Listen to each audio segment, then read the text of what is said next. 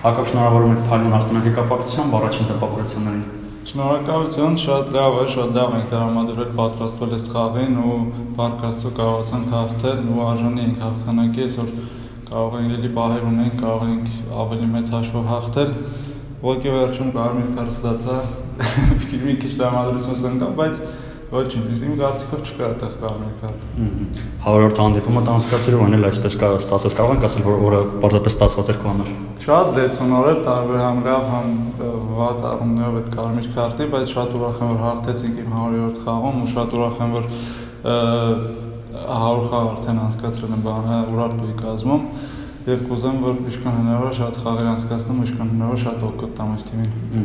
Լավ, ինչ կասես, այս հանդիպումը որքանով է կարևոր թիմի համար, հա, շատերը ասում են որ թիմը չի կարող պայքարել, բայց ամեն դեպքում տեսականորեն շանսեր ունի ու նման հաղթանակ ինչ կտա թիմին։ Բնականաբար, ինչև վերջ պայքարելու ենք, բոլոր շանսերը ունենք, ինձ թվում է կախված է նաև մրցակցի խաղը, մրցակիցների խաղերից, բայց ինձ թվում է շանսեր ունենք, պայքարելու ենք մինչև վերջ, ամեն խաղի մոտենալու ենք միայն հաղթանակի համար եւ վերջում դերևա որ դիրքով կավարտենք այս առաջին շրջանը